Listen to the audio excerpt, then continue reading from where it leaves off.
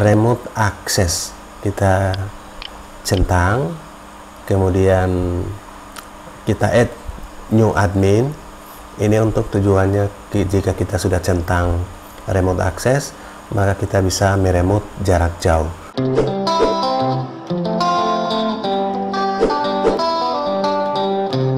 Salam sukses, Assalamualaikum warahmatullahi wabarakatuh. Selamat datang di Munir TV Pada suasana pagi ini Kita akan melihat Sebuah program dari Access Point Yang paling populer juga Dari brand Ubiku Yaitu menu-menu dari Unify ACMS Pro. Jadi kita lihat lagi Untuk uh, melakukan install Unify SMS Pro ini silakan sahabat ke browser sahabat uh, ketikkan saja Unify Installer oke. Seperti ini. Langsung ke software download. Kemudian sahabat akan ketemu. Sahabat bisa pilih yang terbaru untuk Windows. Seperti ini. Rilis yang terbaru untuk download. Dan akan ketemu uh, softwarenya untuk dilakukan install. Setelah diinstal kita akan ketemu Unify installer dan setelah kita install ini adalah logonya. Kita klik kemudian akan nampak seperti ini. Ini Unify installer yang terbaru dan di sini ada manage server in browser. Nah kita klik manage server in browser. Jika sahabat baru pertama melakukan settingan Oke, ini diminta untuk uh. Ini karena sudah dilakukan install, untuk instalasi dasarnya, sahabat bisa lihat di video uh, di deskripsi ini atau di video Munir TV yang lama, cara melakukan instalasi dasar untuk Unify SMS Pro. Uh, kali ini kita terhubung dengan uh, digital nama WiFi dari uh, Unify ACMS Pro kita lihat uh, menu-menu uh, yang paling penting dalam settingan Mesh Pro untuk uh, nanti kita akan lanjutkan dengan remote access. Jadi yang pertama di sini site switch. Di sini kita akan uh, menggunakan default atau menggunakan algi atau sahabat bisa add new untuk membuat site switch. Site switch ini berfungsi juga pada saat kita melakukan remote atau mengakses access point kita di jarak jauh. Di sini ada default dan ada algi. Kita sekarang berada pada dashboard default. Oke, ini dashboard defaultnya. Jika kita klik di algi, maka ini kita berada pada dashboard uh, algi. Oke, jadi site switch ini menentukan. Sekarang kita berada pada dashboard algi dan di dashboard algi ini masih nol settingan. Yang kita gunakan settingan pertama default. Oke. Okay pastikan kita klik tambah atau menggunakan default. Jika kita klik tambah kita akan diminta untuk membuat site name dan melakukan settingan ikuti sampai selesai. Kita akan berada di dashboard ini untuk melihat tampilan. Yang pernah uh, terkoneksi handphone dari Bang Munir. Kemudian ada PC saat ini. Kemudian aktif access pointnya di sini UAP AC M ini M Pro ini dashboard yang kita bisa melihat insight dari uh, akses point yang kita gunakan. Kemudian di menu topologi topologi ini saat ini terhubung dengan satu buah HP Munir ini dan uh, laptop saat ini. Ini terhubung dengan UAP ACM Pro. Kemudian yang berikut Unify Device. Ini nama akses pointnya. Akses point ini kita bisa memantau experience-nya excellent artinya performa saat ini lumayan bagus karena tergambar di sini excellent. Uh, 24 HR use-nya 1,2 ini penggunaan harian. Downloadnya nampak di sini 41 kbps. Dan uploadnya 34 kbps. Itu informasi untuk uh, Unify device-nya. Kemudian yang berikut klien. Nah klien di sini ada dua di HP yang Munir ini dan di desktop ini yang uh, laptop. Dan kedua experience atau penampilannya excellent. Jadi kita bisa mengetahui kualitas sinyal dari sumber internetnya. Kali ini menggunakan sumber internet dari Orbit Pro H2 Oke di client device kemudian yang berikut adalah radionya. Radio di sini di uh, sama-sama di UAP eh, ASM Pro 2,4 GHz dan 5 GHz channel yang digunakan ini di 5 GHz nya ada di 52 channel width-nya 2020 TX power-nya ini. Kemudian yang berikut adalah sistem lock. Ini informasi pada saat uh, terhubung. Kemudian yang paling penting pada settingan. Pada settingan ini kita bisa membuat create new. Create new ini untuk membuat nama WiFi baru dan password serta settingan-settingan seperti ini.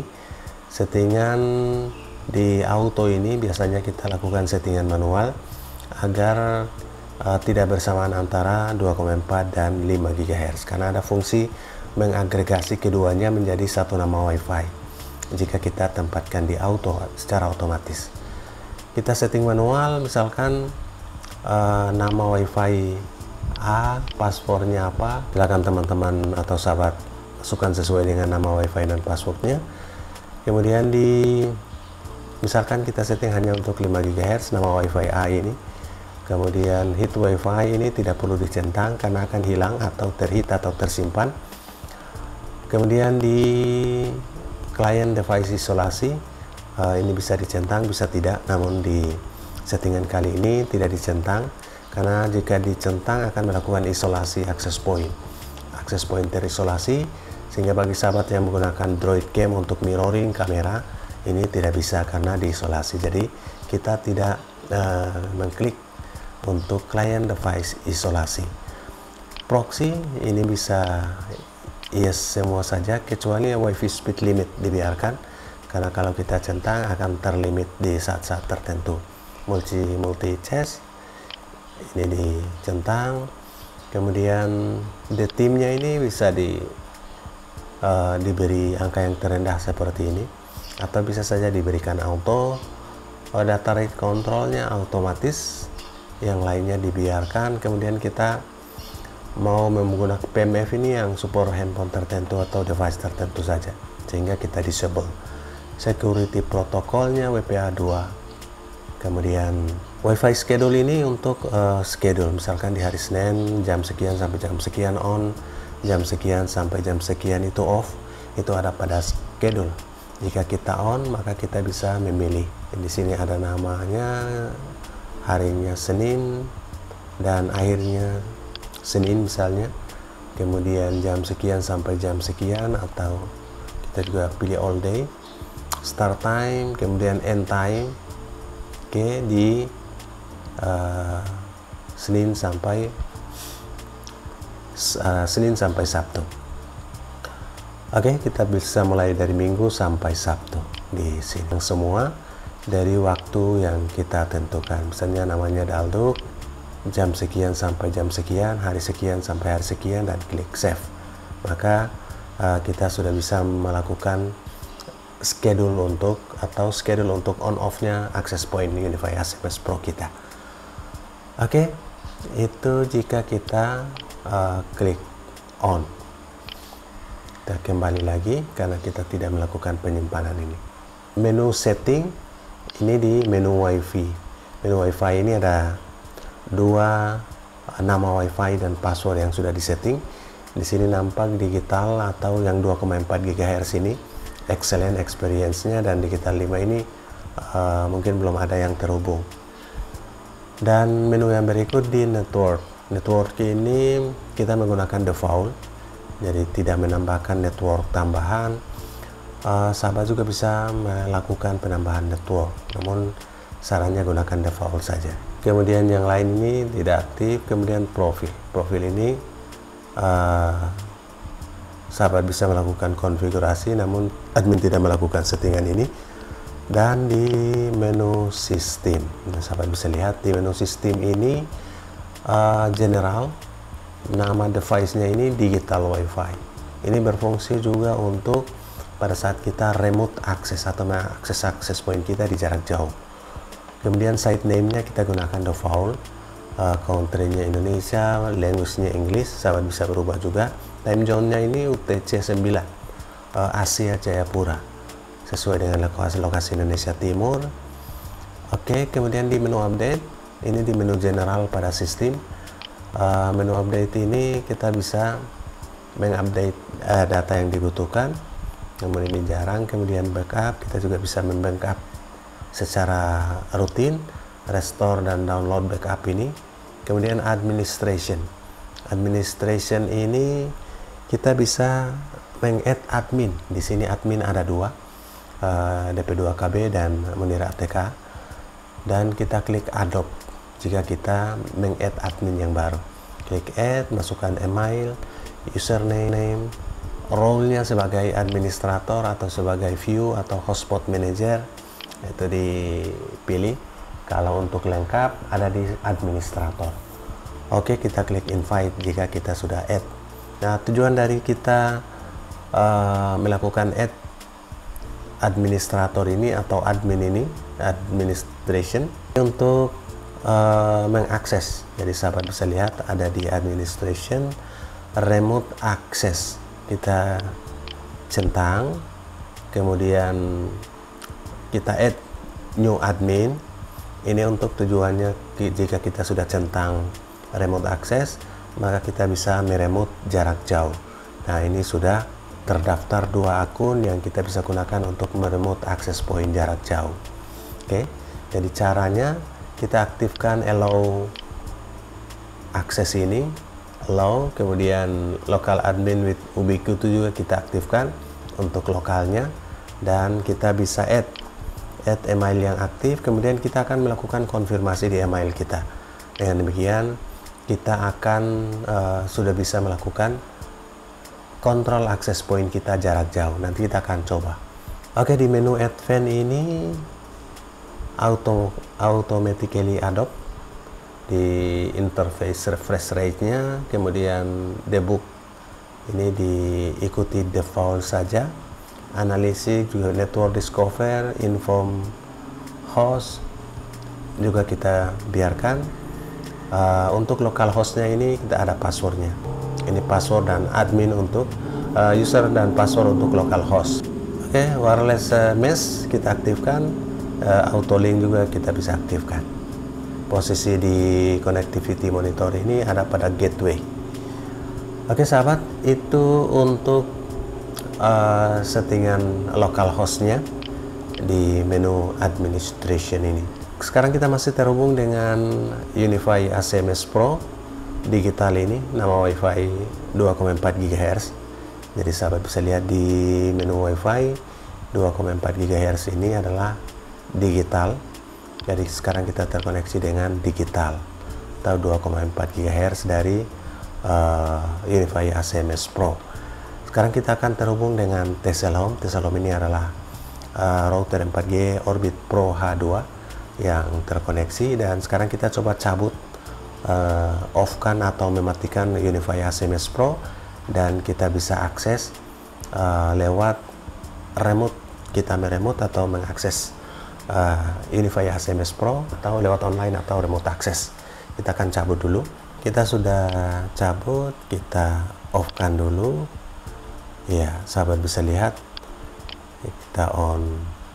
Dan uh, Unify SMS Pro digitalnya sudah off. Tinggal Tesla Home. Dan dari Orbit Pro H2 dan access point Unify SMS Pro nya kita sudah off karena kita sudah daftar remote access atau remote control access untuk akses jarak jauh. Jadi ketika kita ini kita tutup dulu. Oke. Kita off kan dulu. Kita buka Unify SMS Pro atau Unify installer ini yang sudah terinstall. Kita coba buka dan kita sekarang sudah terhubung dengan uh, Tesla Home bukan Unify SMS Pro kita sudah cabut. Dan sekarang kita menunggu untuk uh, terhubung ke server lewat online. Karena kita sudah daftarkan uh, akun untuk online. Nanti akan diminta akun untuk online ya kita akan akses. Ini sudah terbuka dan kita coba akses. Nanti kita akan hidupkan untuk uh, akses online. Hidupkan nama wifi dari ACMS Pro karena sekarang masih off untuk pertama koneksi. Kita akan mengakses dengan ada dua akun kita akses salah satunya misalkan dengan Munir ATK at gmail.com kemudian passwordnya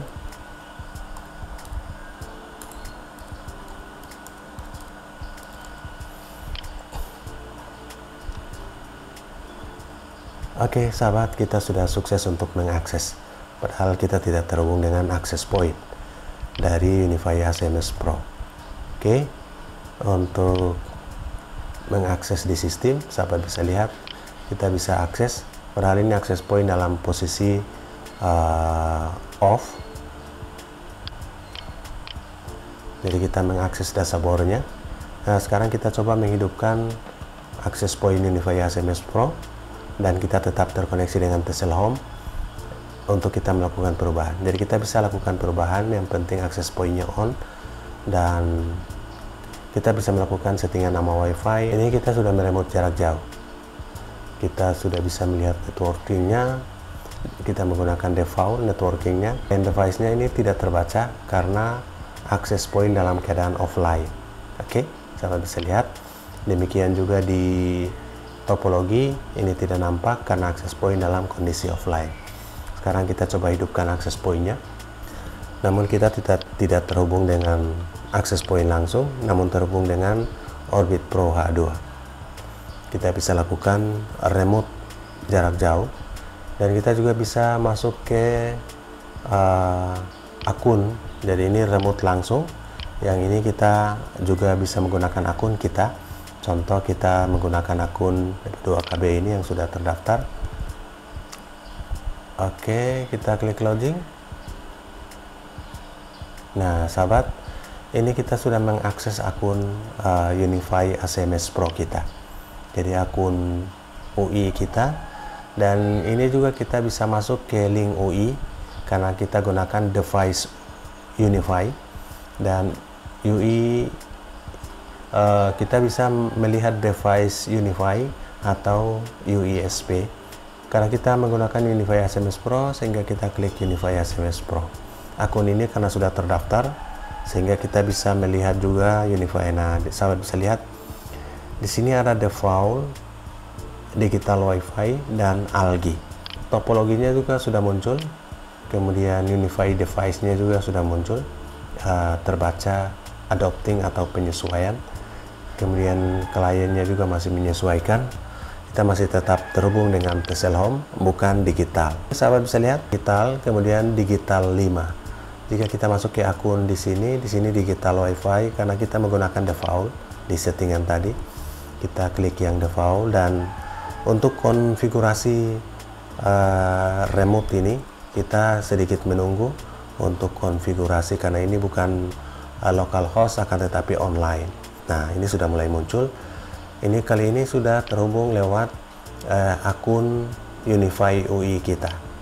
Jadi sahabat bisa lihat ini kita sudah terhubung dan sahabat bisa lihat di sini ada site algi dan site default. Kita bisa lihat default dan algi. Kita masuk tadi dengan default. Di default ini ada satu atau yang sudah fungsi